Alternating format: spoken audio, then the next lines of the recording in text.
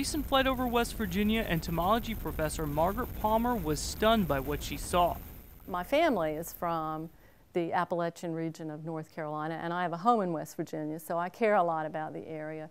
So I expected on the flyover to see forests everywhere with little patches of, of coal mine sites, and instead I saw something quite different. I saw sort of moonscapes of mined areas with little patches of forest.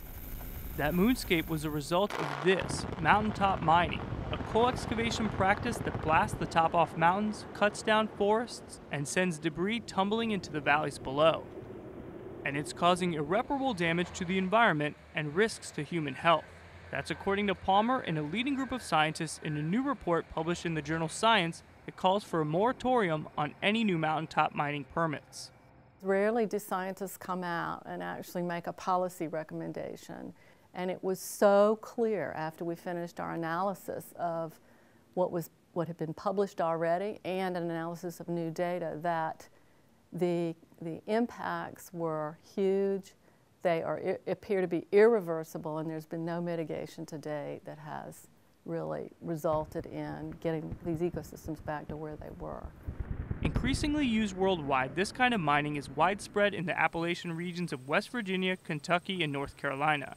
It's considered more profitable than underground mining because it's quicker and requires less manpower. But for Palmer, that profit comes at a heavy cost.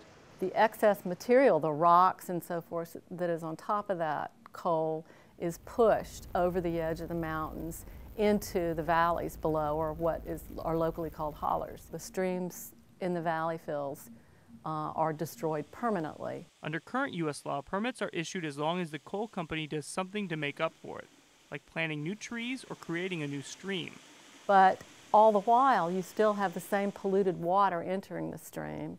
That is water that comes off a mine site or rain that lands on a valley fill and seeps through it and feeds into the streams has significant uh, problems with elevated chemicals. Chemicals like sulfate, magnesium, and selenium, which is toxic to organisms and can cause deformities in fish. The National Mining Association says that mitigation efforts have improved. Over the last five years, we all worked together on new soil compaction studies, and as a result, we're seeing a much better success rate for uh, hardwood forest regeneration. The mining group says that while more can be done in mitigation and reclamation efforts, an outright ban on permits is too extreme. The EPA and the Obama administration just this week, in fact, said that mountaintop mining uh, can be compatible with uh, health, environment, and economic protections uh, if done properly. Still, for the study's 12 authors, it's a practice that the U.S. must take a lead in banning. We're looking at major changes in China and India. The amount of surface mining that they're doing is going up dramatically, and it's going to continue to increase dramatically. And I think if we set a clear example that while our needs for coal may be substantial and we understand that developing countries in particular need energy, there are good ways to do it and there are ways that are very destructive to do it. For Discovery News, I'm Jorge Ribas.